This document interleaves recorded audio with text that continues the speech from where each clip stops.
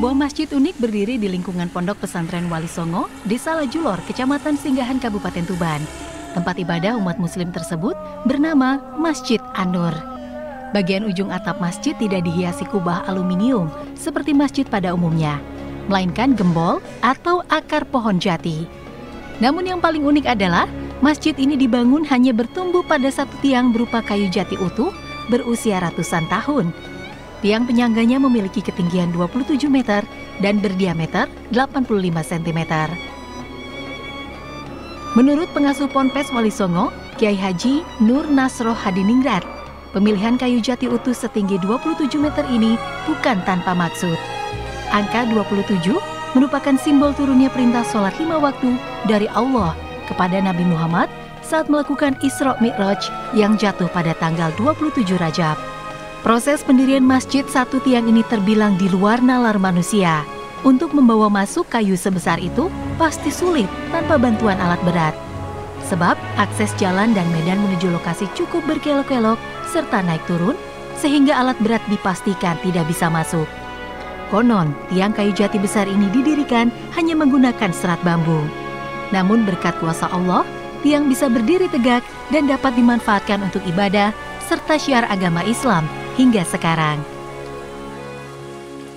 Begitu kita dirikan juga uh, kita sambil kita berpikir.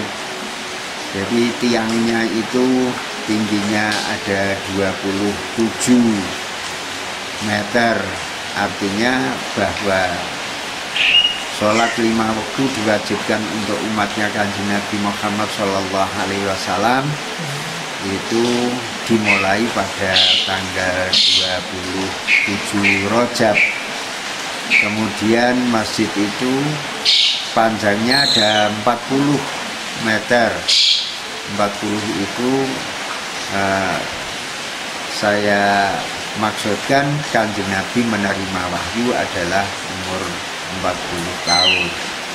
Lebarnya 17 17 itu adalah mengandung arti bahwa nuzulul Quran, tumurunnya Al-Quran itu pada tanggal 17 Ramadan. Hingga kini masjid yang berada di lingkungan Ponpes Wali Songo ini masih dikenal keunikannya. Masjid ini makmur karena menjadi tempat ibadah dan dakwah bagi para santri Ponpes dan masyarakat sekitar. Selain untuk beribadah para santri, Masjid ini juga rutin digunakan oleh para santri dan penduduk sekitar pondok untuk mengaji dan menjalankan sholat lima waktu. Tak jarang, warga dari luar Tuban berkunjung untuk melihat dan menyempatkan beribadah di masjid ini. Ziki Muhammad, Husni Mubarok, CTV.